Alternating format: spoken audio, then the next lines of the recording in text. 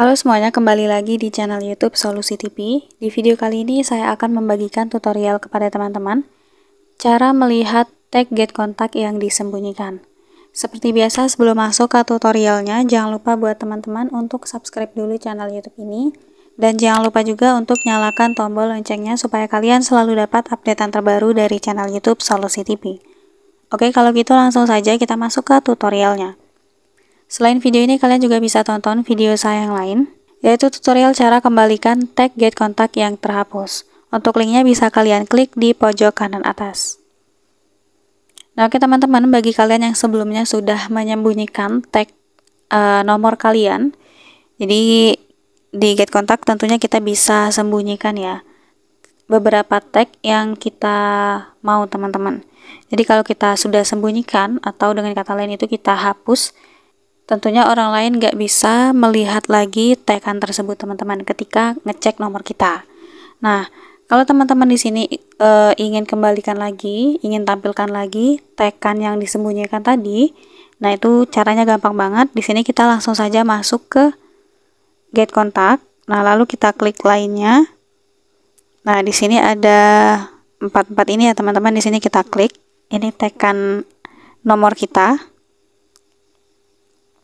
Nah, jadi biasanya kalau kita sembunyikan atau kita hapus itu biasanya seperti ini ya, teman-teman. Ini saya hapus dulu, saya sembunyikan dulu.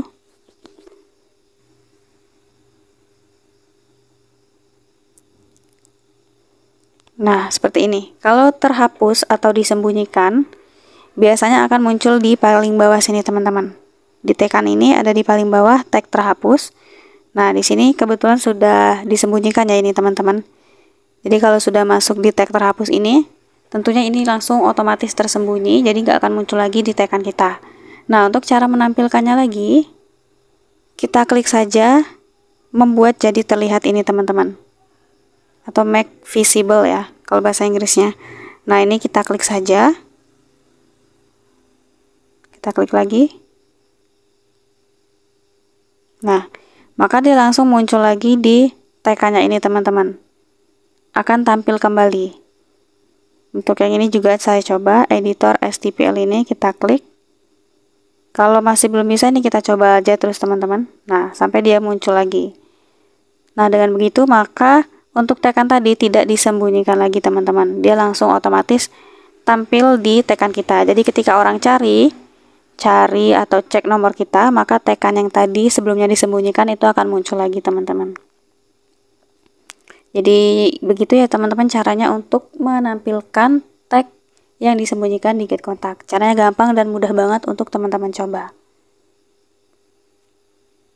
Cukup sekian dulu tutorial di video kali ini. Semoga tutorial yang saya bagikan bermanfaat dan selamat mencoba.